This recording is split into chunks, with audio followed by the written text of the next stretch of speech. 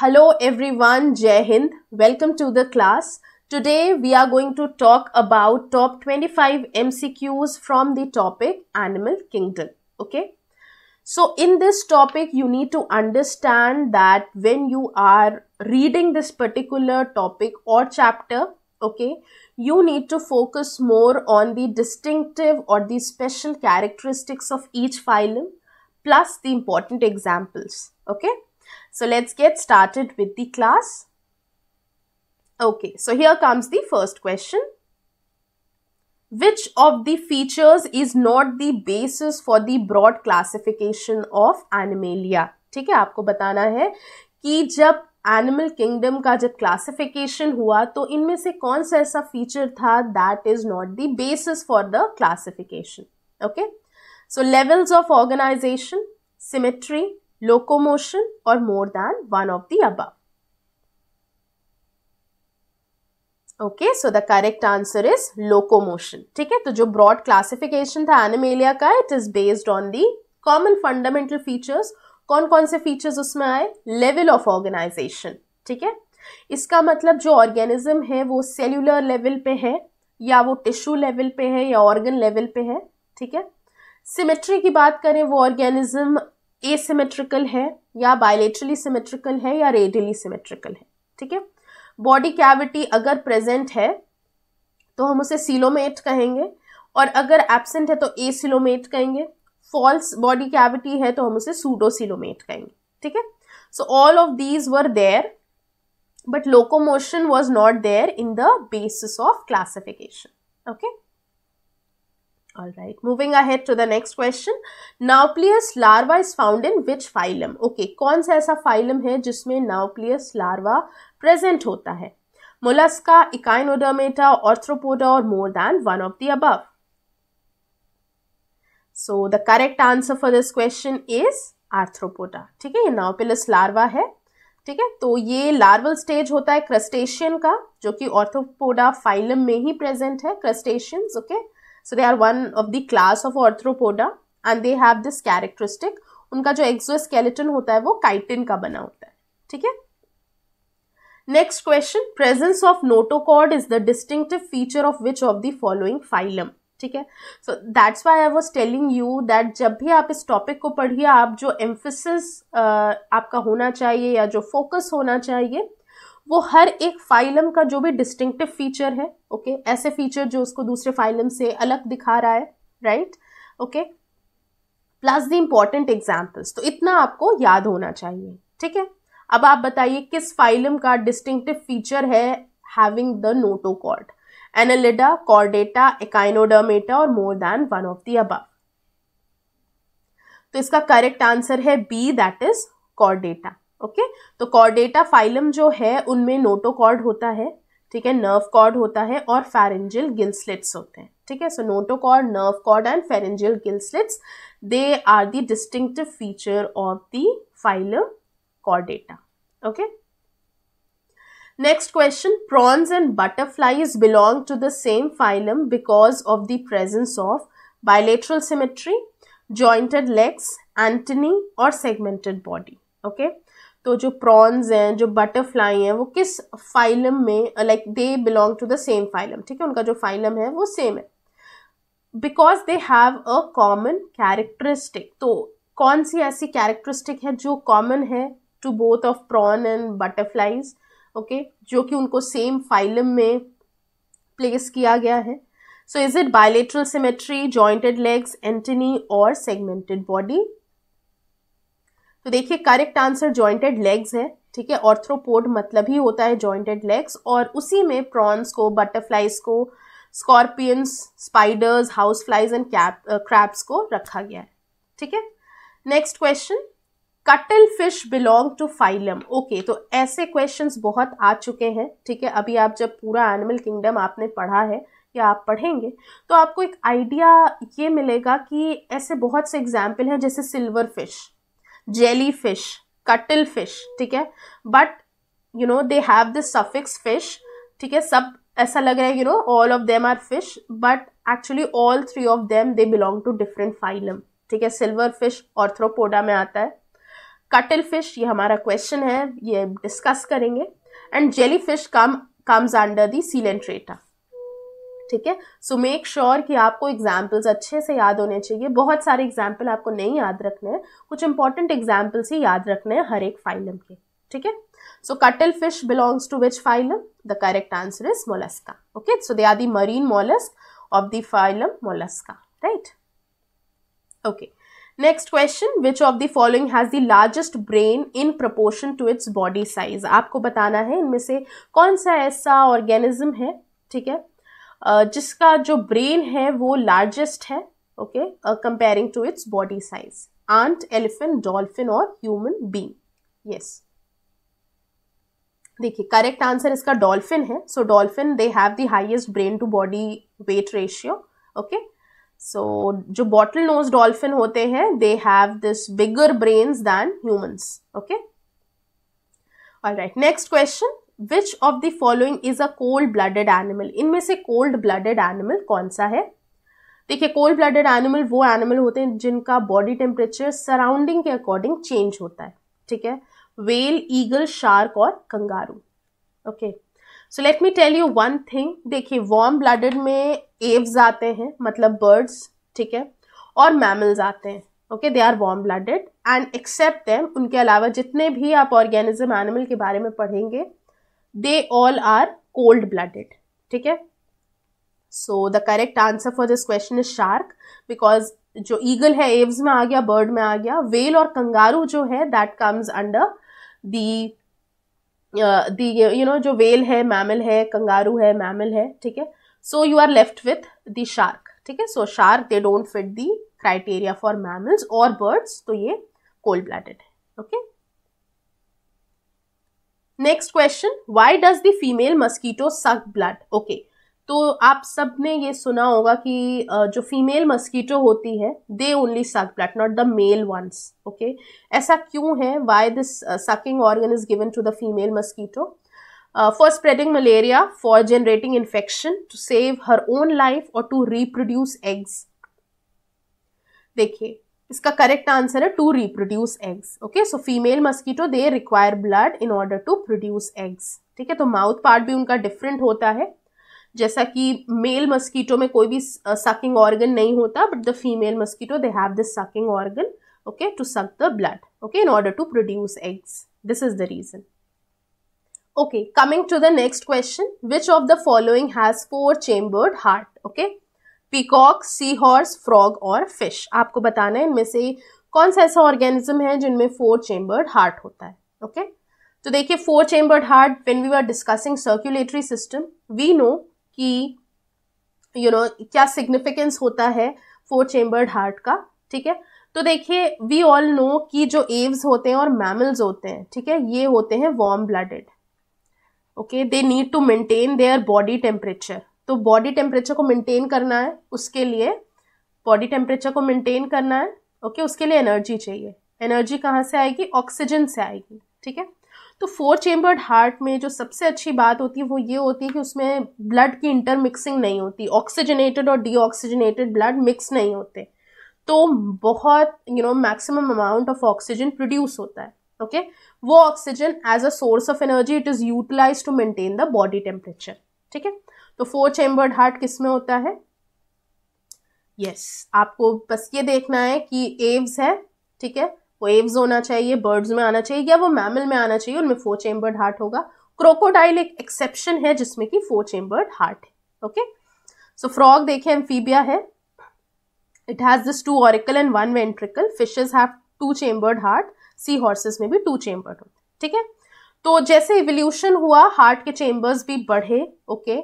और फिशेस जो सबसे पहले आए ओके okay, उसमें देखा गया कि टू चेम्बर्ड हार्ट थे उसके बाद फ्रॉग्स एम्फीबियंस में थ्री चेम्बर्ड हार्ट हुए okay and then in the you know Amphibia है रेपेटाइल्स है they have this three chambered heart exception crocodile का है और एव्स और मैमल्स में like we have this four chambered heart okay next question which of the following is an egg laying mammal okay so it is mongoose platypus whale और mole ठीक है, आपको बताना है कि इनमें से कौन सा एग लेइंग मैमल है? ओवी पैरिस मैमल एग लेइंग मतलब ओवी पैरस ओवी पैरस ठीक है, और जो birth you know the one that give birth to the young ones हम उन्हें विवी पैरस कहते हैं. ओवी पैरस एंड विवी पैरस ठीक है? तो इसमें कोई कंफ्यूजन नहीं होगी बिकॉज़ एग जैसे ओवम से हम पढ़ते हैं तो जो एग ले करे, वो ओवी पैरस हो गया, ठीक है? या other one is viviparous ठीक है?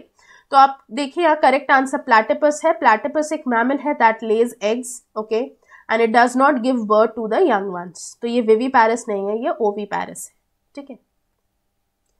Next question which is not an example of one sided symbiotic relationship अब आपको बताना है, देखिए सिम्बायोटिक रिलेशनशिप तो ऐसी होती है जिसमें कि दोनों ही partners they get benefit from each other ठीक है? तो इनमें से कौन सा है एग्ज़ाम्पल जो कि वन साइडेड सिम्बायोटिक रिलेशनशिप का एग्ज़ाम्पल नहीं है? Okay so cattle egrets and cattle a hermit crab and an empty sea shells a spider on a tree tapeworm in host stomach तो ये सब आपको पता है टेपवर्म एक पैरासाइट है। तो ये जो एग्ज़ाम्पल है पैरासिटिज्म का एग्ज़ाम्पल है right so it is a parasite in the host stomach right so this is example of parasitism जिसमें कि एक पार्टनर को बेनिफिट होता है, दूसरे को लॉस होता है right and this is not the example for the symbiotic relationship okay moving ahead to next question which type of bird's beak is used to tear and eat meat okay कौन सी type है bird beak का जिससे you know it is easy to tear and eat meat cone shaped beak straight and thin beak hooked beak long thin needle like beak yes correct answer है hooked beak okay so it helps to tear and break flesh eagles have such type of beak okay Hooked beak जो होती है okay so it is like hook थोड़ी सी वो curved होती है right right? और you know it is used to tear and eat meat right next question in the case of uh, the स्पॉन्जो spongocele is lined with flagellated cells जिनको हम क्या कहते हैं? Mesenchymal cells ostia oscula और coenocytes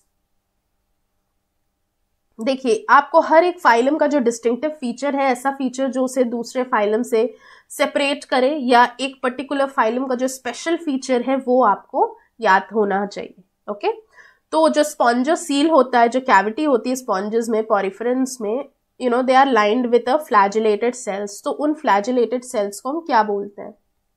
So, they are known as coinocytes okay? So, the collars of the coinocytes they are the site of nutrient absorption in the sponges, ठीक है? So, जो coinocytes होते हैं they are the site of nutrient absorption in the sponges okay तो spongocoel जो होता है that is line with this flagellated cells जिसको हम कोइनोसाइट्स या कॉलर सेल्स भी कहते हैं. Okay all right so moving ahead to the next question Venus flower basket represents one of the following okay तो आपको बताना है वीनस फ्लावर बास्केट जो कि कॉमन नेम है ठीक है? तो ये किसको रिप्रेजेंट कर रहा है? हायाबोनेमा यूप्लेक्टेला स्पॉन्जिला और साइकॉन तो देखिए करेक्ट आंसर यूप्लेक्टेला है। यूप्लेक्टेला को हम कहते हैं Venus flower basket and it is so क्योंकि आप देख रहे हैं डेलिकेट है वाइट है और इसमें लैटिस लाइट स्केलेटन है। Can you see the type of skeleton ठीक है? जैसे नेट लाइक लैटिस लाइक होता है। So this is like basket जैसा होता है नेट की तरह। ठीक है? वैसा ही ये भी है। So Venus flower basket it is you Euplectella ठीक है? तो कॉमन नेम्स भी जो होंगे वो भी आपको पता होना चाहिए okay all right now next question which of the following does not belong to phylum seal Coelenterata अब देखिए, सब सी है, ठीक है? Like sea pen sea feather sea cucumber sea fan okay ये कंफ्यूजिंग हो सकता है. That's why I am telling that you should be knowing the example from each phylum ठीक है? जो फाइव मोस्ट इंपॉर्टेंट एग्जाम्पल्स आते हैं एग्ज़ाम में, आपको वो ज़रूर याद होने चाहिए। तो इनमें से कौन सा है जो कि फाइलम सीलम ट्रेटा को बिलोंग नहीं करता? करेक्ट आंसर है इसका sea cucumber okay so it is the common name of marine animal okay belonging to the phylum Echinodermata okay so ये जो सी ककम्बर है it is the common name of marine animal okay that belong to phylum Echinodermata right sea का cucumber ये किस phylum का है? Echino okay so this is sea cucumber ये Coelenterata का नहीं एकाइनोडर्मेटा का। Next question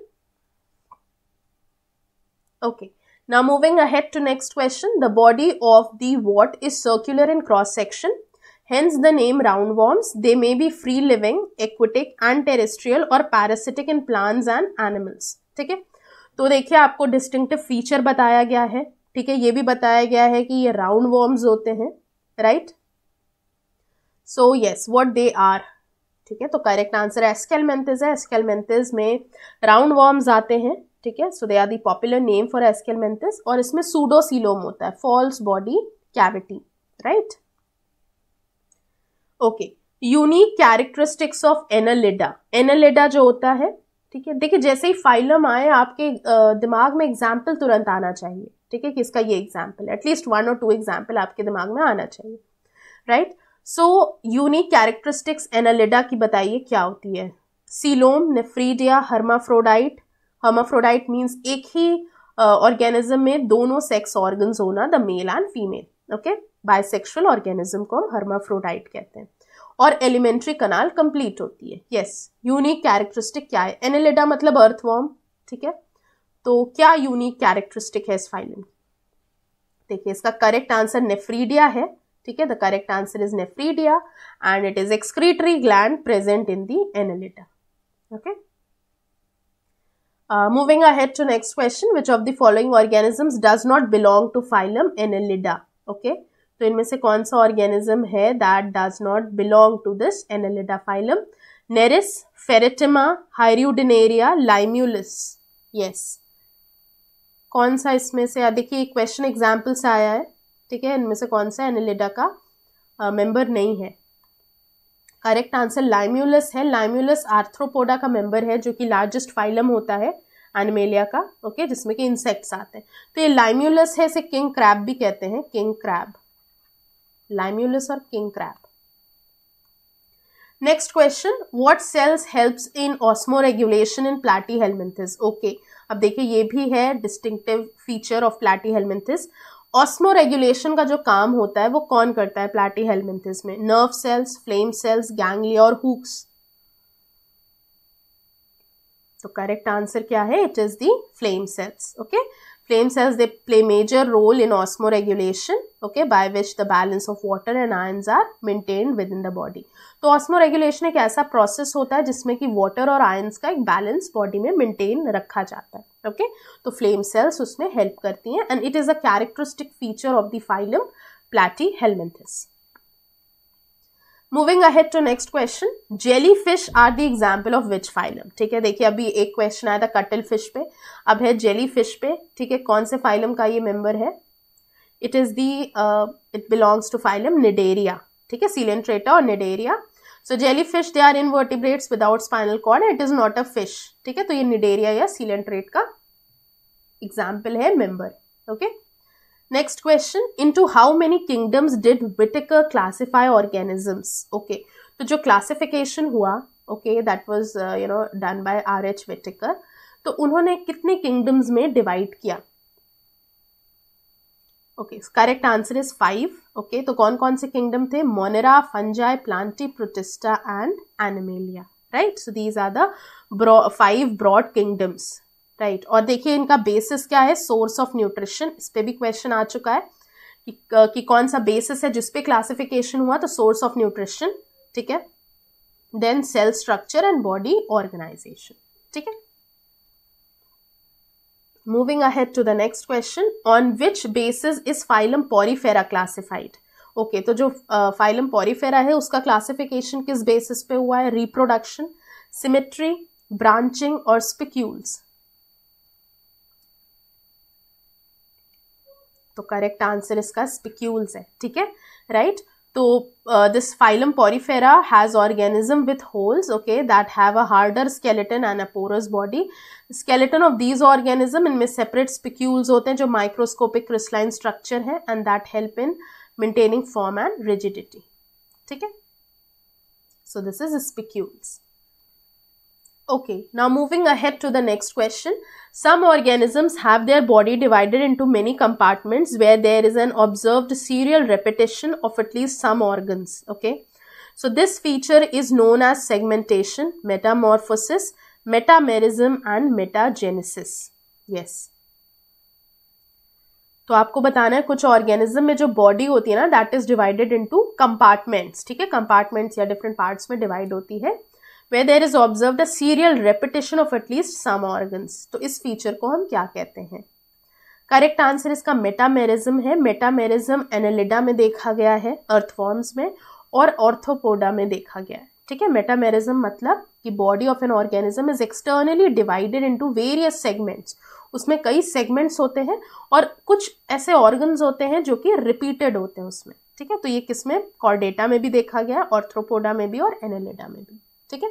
So Annelida Arthropoda and Chordata ये क्वेश्चन आता है व्हाट इज़ मेटामेरिज्म तो आपको ये समझना है कि जो एक्सटर्नल सेगमेंटेशन होता है बॉडी को कंपार्टमेंट्स में डिवाइड किया जाता है, जैसे कि एनेलिडा ऑर्थ्रोपोडा और कॉर्डेटा में ये देखा गया है। ठीक है? तो किसमें प्रेजेंट है और ये क्या होता है मेटामेरिज्म